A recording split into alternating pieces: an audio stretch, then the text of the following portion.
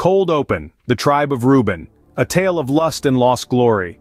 Reuben, the firstborn of Jacob's twelve sons, was once the symbol of his father's might, the first sign of his strength. However, a dark cloud loomed over his lineage. His act of incest with Bilhah, his father's concubine wife, marred his character and left an indelible spot on his posterity. Despite this act occurring 40 years prior, it was a stain that could not be washed away. Reuben, who should have been a beacon of virtue, brought disgrace upon his tribe and family. His birthright was stripped away by his father on his deathbed. Reuben remained a son, but lost the prestige of the firstborn.